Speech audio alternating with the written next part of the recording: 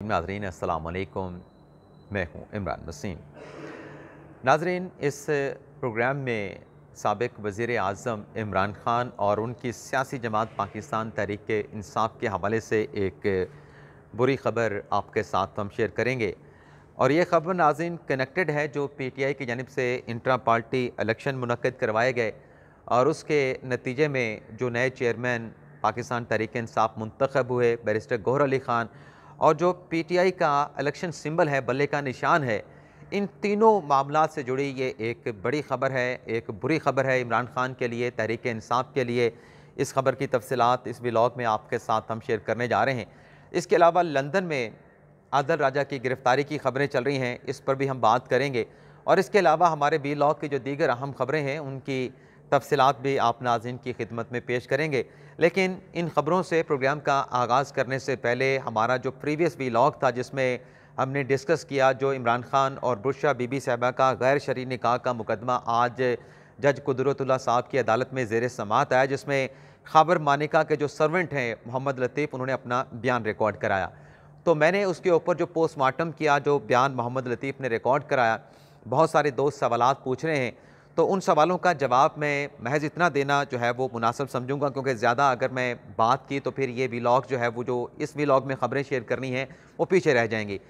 मैंने उसमें जो आप नाजिन सवाल उठा रहे हैं तो मेरा उसमें पोस्टमार्टम करने का मकसद ये था कि एक तो जो अल्फाज इस्तेमाल किए मोहम्मद लतीफ़ ने खाबर मानिका की सबक अहलिया के ख़िलाफ़, मेरे ख्याल से वो अल्फाज मुनासिब नहीं थे। यानी अगर उसने कुछ वहाँ पे देखा भी था तो आप कह सकते थे, मोहम्मद लतीफ़ अपने स्टेटमेंट में कह सकते थे, काबिल एतराज़ हालत में मैंने देखा था। और फिर सवाल ये भी उठता है कि चार मरतबा का उसने ज़िक्र किया कि चार मरतबा ऐसी हालत में देखा तो क्या जब एक मरतबा ऐसी हालत में, काबिल एतराज़ हालत में नौकर ने देखा था अपने मोहम्मद लतीफ़ ने और फिर खाबर मानिका को बताया था तो ये जो अब जाके खाबर मानिका की गैरत जाग रही है, मैं ये नहीं कह रहा कि जो बयान किया वो झूठा है, वो सच्चा है। सवाल यह किया है कि अगर गैरत वाला शख्स तो पहले ही मरतबा ऐसी हालत में, काबिल एतराज़ हालत में देख के उस औरत के साथ नहीं रहता। और फिर इसमें एक और नुकता भी है कि अगर ये सब कुछ हो रहा था, जो खबर मानिका ने शाजिब खानजादा को अपना इंटरव्यू दिया, उसमें क्या कहा? तलाक तो बुशा बीबी ने मांगी थी और बुशा बीबी का पैगाम जो है, तलाक का, वो फरागोगी लेके गई थी। यानी ये सब कुछ देखने के बाद भी खबर माना की गैरत कहाँ गई थी? क्या उसको तलाक नहीं देनी चाहिए थी? क्यों खामोश बैठा रहा? तो ये यही सवाल उठ रहा है कि आपका जो गैर शरी निकाह का केस है, जो अपने खबर मानिका ने कहा कि मैंने चौदह नवंबर को तलाक दे दी थी। वो आप रिटर्न डॉक्यूमेंट अदालत के सामने रखें। केस तो आपका इतना है कि इद्दत के दौरान निकाह नहीं हो सकता था। ये गैर शरी निकाह है गैर कानूनी निकाह है। तो इस किस्म के अल्फाज इस्तेमाल करना तो मैंने तो उसके ऊपर एतजाज़ उठाया है। बाकी जो मोहम्मद अपना लतीफ़ जो कह रहा है, उसके ऊपर अगर जुमे के रोज़ ये मुकबला मुकदमा काबिल समात करार पाता है तो उसके स्टेटमेंट के ऊपर जिरा भी होगी। दूध का दूध, पानी का पानी तो हो जाएगा जिरा के दौरान। लेकिन मेरा सवाल ये था कि जब आपका मज़बूत मुकदमा है, आपके पास रिटर्न तमाम चीज़ें मौजूद हैं, पहला निकाह का पर्त आपके पास मौजूद है कि यकम दिसंबर को निकाह हुआ है और चौदह नवंबर को आपने तलाक दी है तो फिर उसके बाद इस लेवल तक नहीं जाना चाहिए था। और निकाह की जो जहाँ तक तलाक की बात है, अगर खबर मानिका साहब आज ये बात कर रहे थे तो फिर जब इमरान खान साहब के साथ निकाह हुआ था तो उसके ऊपर फिर बहुत सारी बातें हुई थी। तो सफाइयाँ कौन दे रहे थे? खबर मानिका दे रहे थे। मैंने तो एक तजाद जो है, वो आपके सामने रखा और कुछ सवाल उठाए थे। लेकिन बहरहाल, आप मेरे लिए बड़े काबिल एहतराम हैं। आप मेरे साथ एग्री भी कर सकते हैं और मेरे साथ इख्तलाफ भी कर सकते हैं। अब आ जाते हैं लॉ की हमारी जो खबरें हैं। सबसे पहले तो नाजिन लंदन से खबरें चल रही हैं। पीपीआई एक एजेंसी है लंदन की। उसने आज रोज़ाना जंग में यह खबर छापी है कि आदल राजा जो जिस पे इल्ज़ाम है इदारों के ख़िलाफ़ हर्जा सराई का उसको जो है वो लंदन पुलिस की जानब से बुलाया गया और बुलाने के बाद उसको वहीं पर गिरफ़्तार कर लिया गया। तो ये ख़बरें सोशल मीडिया पर बहुत ज़्यादा वायरल हुई। तो इसके बाद एक रिबटल आता है, तरदीद आती है और ये तरदीद आती है जो आदल राजा का अपना एक्स ट्विटर अकाउंट है, वहाँ से आती है कि वो उन्हें सोने दें, ऐसे चवले ना मारें और मुझे कोई गिरफ़्तार नहीं किया गया। ये इस तरह के शोशे छोड़े जा रहे हैं। तो गिरफ्तारी हुई है, नहीं हुई लेकिन ये बात तो कन्फर्म हो चुकी है जो कि जो आदल राजा का ट्विटर अकाउंट है, उससे उन्होंने इस गिरफ्तारी की तरदीद कर दी है। अब यहाँ पर सवाल ये है कि ट्विटर अकाउंट तो एक से ज़्यादा लोग भी इस्तेमाल करते हैं। मैं अपने ट्विटर अकाउंट का किसी और को भी जो है वो मैनेजर बना सकता हूँ, वो भी कर सकता है, लेकिन अभी तक ये क्लियर नहीं हो पाया क्योंकि मुर्तज़ा अली शाह साहब जो कि लंदन में जियो न्यूज़ के वहाँ पर कवर करते हैं, उन्होंने खबर नहीं दी। पिछली मरतबा भी जब ऐसा हुआ था, आदल राजा को लंदन पुलिस ने बुला के गिरफ़्तार किया था, वो खबर भी उसकी कन्फर्मेशन फिर मुर्तज़ा अली शाह साहब ने की थी कि हाँ ऐसा हुआ है आदर राजा को गिरफ़्तार किया गया था, लेकिन फिर बाद अजा उन्हें ज़मानत के ऊपर जो उस पर एलिगेशन थे, हरजा सराय के, उस पर उन्हें जो है ज़मानत पर छोड़ दिया गया है। अभी और गिरफ्तारी की खबरें हैं, लेकिन आदल राजा ने अपने ट्विटर एक्स अकाउंट से इसकी तरदीद कर दी है। इसके अलावा Nazin Sanam Javed P T I की खातून, कारकुन पी टी आई की खातून रहनुमा, जिन्होंने अपनी ज़मानत के बाद दोबारा गिरफ्तारी पे कंटेम्प्ट की एप्लीकेशन लाहौर हाई कोर्ट में दायर की थी। आज इस केस की जब लाहौर हाई कोर्ट में समात हुई है तो जस्टिस बाकर अली नबजी साहब ने इस केस की समात की और सरकारी वकील ने अदालत को आके जो जवाब दिया वो आप यूँ समझें कि बड़ा सरप्राइजिंग था बड़ा हैरान हैरान कर देने वाला था। यानी समात तो हो रही थी कि सनम जवेद को ज़मानत मिली उसके बाद दोबारा उसको किसी और केस में गिरफ़्तार कर लिया गया तो ये अदालत के हुक्म की तोहन हुई है। लेकिन सरकारी वकील ने बताया कि जो डी सी हैं लाहौर की राफिया हैदर साहबा उनकी जानब से तीस दिन के आ, सनम जवेद के नज़रबंदी के ऑर्डर जारी कर दिए गए हैं। और इस नज़रबंदी के ऑर्डर में कहा गया है कि चूँकि अमन अमा का ख़तरा है, अगर सनम जवेद को रिहा किया जाता है तो लिहाजा तीस दिन के लिए वो नज़रबंद रहेंगे इस नोटिफिकेशन के मुताबिक। तो जब ये अदालत के सामने एक नया नोटिफिकेशन नज़रबंदी का पेश किया गया तो जस्टिस नकवी साहब ने कहा, बल्कि सरकारी वकील ने यह बताया कि पाँच मुकदमात हैं सनम जवेद पे चार केसेस में उनकी ज़मानत हो चुकी है, लेकिन एक केस में अभी तक उनकी ज़मानत नहीं हुई। तो अदालत ने सनम जवेद के जो वकील थे, उनसे कहा कि अब जो सब्सिक्वेंट यानी डेवलपमेंट हो चुकी है, उसके बाद आप इस नज़र बंदी के ऑर्डर को चैलेंज करें, लेकिन कंटेम्प्ट केस की जो समात है, उसे अदालत की जानब से कल तक जो है वो मुलतवी कर दिया गया है। परवेज़ लाही साहब को जो लाहौर हाई कोर्ट ने हुक्म दिया था, लाहौर पुलिस को कि आप बाहिफाजत उनकी ज़मानत हो चुकी है, बाहिफाजत उनको घर तक छोड़ के आएँ तो उस पर फिर परवेज लाई को घर के सामने से गिरफ़्तार कर लिया गया था। तो उस पर भी एक कंटेम्प्ट की एप्लीकेशन की आज इस्लामाबाद हाई कोर्ट में समात हुई है और डिप्टी जो डीआईजी थे इन्वेस्टिगेशन और ऑपरेशन जिन्हें कंटेम्प्ट की अदालत की जानब से नोटिस किए गए थे, उन्होंने गैर मशरूत माफ़ी अदालत से मांगी है और अदालत की जानब से ये गैर मशरूत माफ़ी पुलिस अफसरान की डीआईजी ऑपरेशन इन्वेस्टिगेशन की एक्सेप्ट कर ली गई है और उनके खिलाफ जो कंटेम्प्ट का मामला था, वो अदालत की जानब से डिस्पोज ऑफ़ कर दिया गया है। अब आ जाते हैं जो पाकिस्तान तहरीक इंसाफ से मुतलक जो अहम खबरें हैं, जो इमरान खान साहब से मुतल खबरें हैं और जो पी टी ए के इंटर पार्टी से मुतल खबरें हैं, अब उनकी तफसलत जो है आप नाजिन की खिदमत में पेश करते हैं। एक तो नाजिन शहरी हैं खालिद महमूद साहब, जिन्होंने इलेक्शन कमीशन में एक दरख्वास्त दायर की थी कि इमरान खान साहब पार्टी की चेयरमैनशिप को रिटेन नहीं कर सकते। तोशा खाना का फैसला आया। तोशा खाना के फैसले में इमरान खान साहब को दो साल की सज़ा हुई और पाँच साल के लिए वो डिसकवालीफाई हो गए। लेकिन ये खालिद महमूद इलेक्शन कमीशन में दरख्वास्त लेके आए। इलेक्शन कमीशन हालाँकि तोशा खाने के फैसले के तीन दिन के बाद ये नोटिफिकेशन जारी कर चुका था कि पाँच साल तक इमरान खान इलेक्शन नहीं लड़ सकते। लेकिन खालिद महमूद ये पटिशन इलेक्शन कमीशन में लेके आए थे कि इलेक्शन तो इमरान खान साहब पाँच साल तक नहीं लड़ सकते, लेकिन उसके साथ साथ जो पार्टी की चेयरमैनशिप है इनके पास, उस चेयरमैनशिप को भी रिटेन नहीं कर सकते। तो आज खालिद महमूद की दरख्वास्त के ऊपर इलेक्शन कमीशन में इस केस की समात हुई है। Chief election commissioner Sikandar Sultan Raja sahab ने इस केस की समात की और इमरान खान की तरफ़ से एडवोकेट शुएब शाहीन पेश हुए।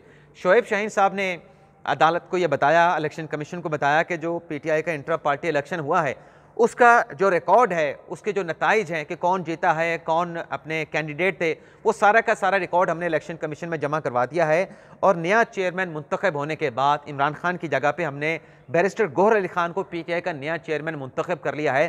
तो ये मुकदमा ख़त्म हो चुका है, ये दरख्वास्त गैर मौसर हो चुकी है। लेकिन इस पर भी अगर जो दरख्वास्त गुजार हैं खालिद महमूद, उनकी तशफ़ी नहीं होती। तो जो अकबर एस बाबर हैं, जो अलान इस बात का ऐलान कर रहे हैं कि पी टी आई के इंटरा पार्टी इलेक्शन को वो इलेक्शन कमीशन में चैलेंज करेंगे। तो खालिद महमूद साहब जो हैं, जब अकबर एस बाबर अपना इलेक्शन कमीशन में दरख्वास्त लेके आएँ, उस दरख्वास्त में फ़रीक बन जाएँ, उनके साथ पी टी आई के इंटरा पार्टी इलेक्शन को चैलेंज कर दें। यानी पी टी आई का वकील ही अपने इंटरा पार्टी इलेक्शन के खिलाफ जो है, एक पटिशनर को जो है वो रास्ता दिखा रहा था। लेकिन chief election commission Sikandar Sultan Raja sahab ने उनसे कहा कि आप खुद ही खालिद महमूद को अपने इंटर पार्टी इलेक्शन को चैलेंज करने का मौका दे रहे हैं। तो दरख्वास्त गुजार ने कहा कि अगर आप इतना ऑर्डर कर दें कि इमरान खान साहब सज़ा याफ्ता हैं तोशा खाना केस में और वो पार्टी की चेयरमैनशिप रिटेन नहीं कर सकते चेयरमैन नहीं बन सकते इलेक्शन नहीं लड़ सकते तो मेरे इतना ही काफ़ी होगा। लेकिन चीफ इलेक्शन कमिश्नर ने उनसे कहा, खालिद महमूद से, कि इमरान खान ने जब इलेक्शन लड़ा ही नहीं तो हम इस अपने ऑर्डर में ऐसी बातें क्यों लिखें? तो इस पर इलेक्शन कमीशन ने फैसला भी महफूज किया। लेकिन साथ में जो पीटीआई का इंटर पार्टी इलेक्शन का रिकॉर्ड था, वो भी तलब कर लिया गया है। और कहा गया कि इस केस का जो हमने इमरान खान साहब की नाहली के हवाले से फैसला करना है, उस रिकॉर्ड का होना भी ज़रूरी है। उस रिकॉर्ड की रोशनी में इमरान खान साहब की नाहलीत के हवाले से इलेक्शन कमीशन जब महफूज फैसला सुनाएगा तो उसको भी मद्देनज़र रखा जाएगा। तो एक तो नाजी ये डिवेलपमेंट हुई है। यानी अगर ये जिस तरीके से बहुत सारे सवाल उठ रहे हैं कि पीटीआई का जो इंटर पार्टी इलेक्शन हुआ है, वो ठीक तरीके से नहीं कराया गया पार्टी जो कॉन्स्टिट्यूशन है, उसके मुताबिक नहीं करवाया गया। और जो एक नेशनल कौंसल थे, उस नेशनल कौंसल के जो इलेक्टोरल फहरिस्त तैयार होनी थी लिस्ट तैयार होनी थी, वो भी तैयार नहीं की गई। और कोई नॉमिनेशंस भी नहीं थे, और उसके साथ साथ पैनल्स भी नहीं बने थे। बहुत सारे सवाल उठे हैं।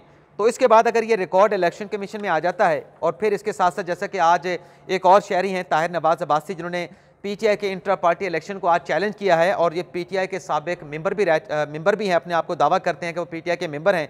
इनकी तरफ़ से इलेक्शन कमीशन में कहा गया है कि ये जो इलेक्शन हुआ है पाकिस्तान पाकिस्तान तरीक इंसाफ का अंदरूनी जो इलेक्शन हुआ है, ये आइन के मुताबिक नहीं कराया गया। ये डमी पैनल बनाया गया ये हकाइक पे मबनी इलेक्शन नहीं कराया गया, आइन के मुताबिक नहीं कराया गया। और इसमें कहा गया है कि जो इंटर पार्टी इलेक्शन हुआ है, वो जो जनरल सेक्रेटरी होता है पार्टी का, उसका काम होता है कि वो इंटर पार्टी इलेक्शन कराए। लेकिन यहाँ पे तो सेक्रेटरी ने इलेक्शन करवाया ही नहीं। तो इस दरख्वास्त में ताहिर नवाज़ अब्बासी साहब पी टी आई के मेंबर ने कहा है कि जो चेयरमैन मुंतखब हुए हैं नए चेयरमैन बैरिस्टर गौर अली खान साहब, इनको नाहल करार दिया जाए पी टी आई के चेयरमैनशिप से, और जो इंटर पार्टी इलेक्शन है, इसको भी कलदम करार दिया जाए, और जो सेक्रेटरी हैं, उनको दोबारा से पी टी आई का इलेक्शन करवाने का हुक्म दिया जाए। अगर नाजी ये इसी तरीके से मामला आगे बढ़ता है, जैसे इंटर पार्टी इलेक्शन के खिलाफ ताहिर नवाज़ अब्बासी ने दरख्वास्त दायर की है तो जो पी टी आई का सिंबल है, इलेक्शन सिंबल है, बल्ले का निशान, उसके ऊपर भी ख़तरात के बादल मंडलाना शुरू हो जाएँगे। पहले भी जब इलेक्शन हुआ था, बहुत सारे तजियाकारों ने बात की थी और जो गैर सरकारी तंजीम है पिल डाट, उसके जो सरबरा हैं बिलाल महबूब साहब या महबूब बिलाल साहब, उन्होंने भी कहा था कि ये इलेक्शन बज़ाहिर जो है, ये ढकोसला लगता है। ये इलेक्शन ये सिलेक्शन हुआ है और ये चैलेंज हो सकता है। तो अगर ये चैलेंज हुआ तो पूरा का पूरा जो प्रोसेस है इलेक्शन का इंटर पार्टी इलेक्शन का, जिसमें बैरिस्टर गौर साहब जो है वो अभी पार्टी में शामिल हुए, एक साल के अंदर पार्टी के चेयरमैन बन गए। ये तमाम चीज़ें क्वेश्चन होंगी, इसकी स्क्रूटनी होगी और अगर इसका नतीजा मुखालिफ आता है पी टी आई के तो फिर बल्ले का निशान जो है, उससे पाकिस्तान तहरीक इंसाफ को हाथ धोना पड़ेगा। तो देखते हैं क्या होता है, लेकिन अकबर एस बाबर साहब ने भी आज जब हम वीलॉग रिकॉर्ड करें तो हो सकता है कि अकबर अखबार जो, बाबर जिन्होंने ऐलान कर रखा है को पीटीआई के इंटर पार्टी इलेक्शन को आज चैलेंज करेंगे, तीन बजे का उन्होंने वक्त दिया है और उसके बाद वो मीडिया के साथ प्रेस कॉन्फ्रेंस भी करेंगे। अगर अकबर एस बाबर भी चले जाते हैं तो इस इंटर पार्टी इलेक्शन के खिलाफ जो दरख्वास्त गुजारों का जो एक बोझ है, वो और भी बढ़ जाएगा। तो देखते हैं फर्दर क्या डिवेलपमेंट होती है।